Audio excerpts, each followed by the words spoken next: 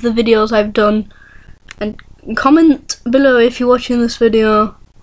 asking questions because I want to do a Q&A it's just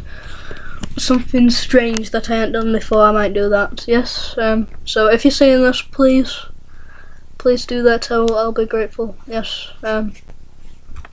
this was a waste of my time but bye